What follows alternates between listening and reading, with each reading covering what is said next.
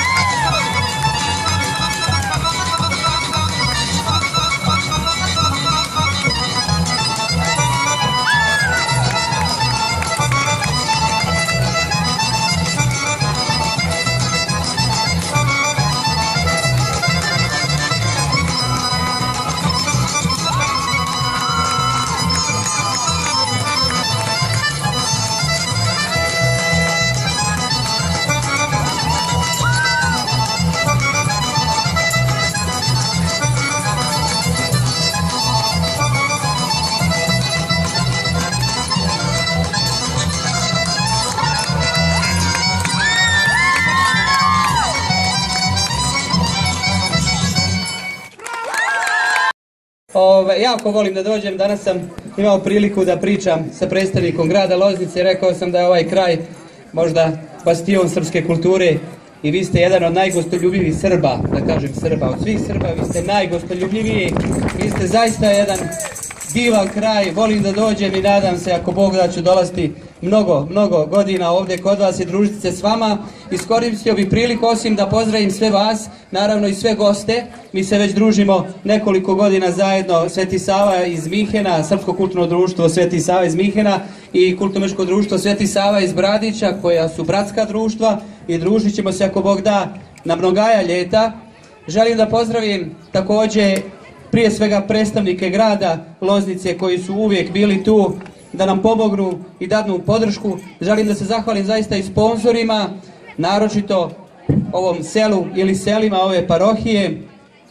I šta da vam kažem još, osim da imam jednu jako lijepu vijest za vas, za možda niste čuli,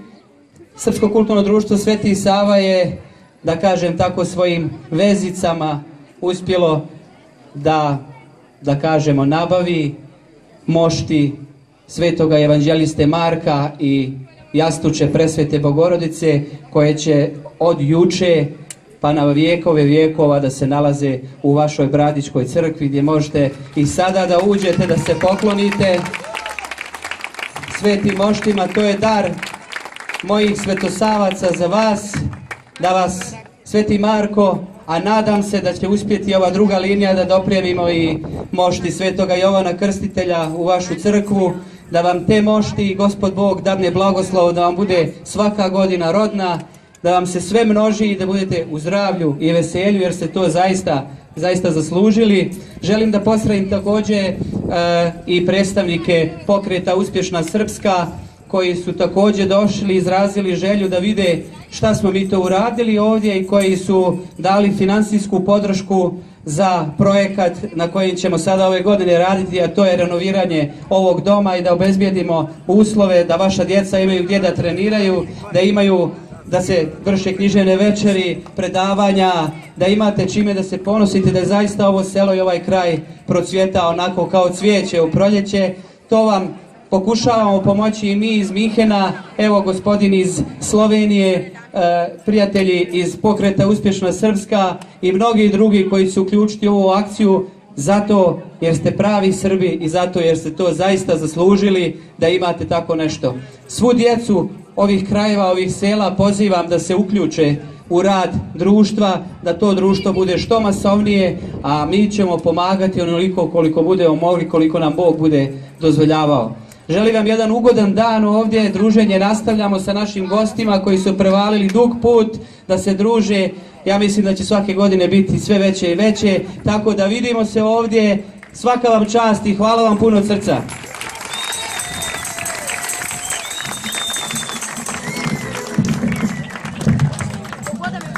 Dragi gosti i dragi prijatelji, želeo bih samo u ime celokupne organizacije ovogodišnjeg festivala da vas pozdravim i da vam se zahvalim što ste uveličali ovu našu proslavu.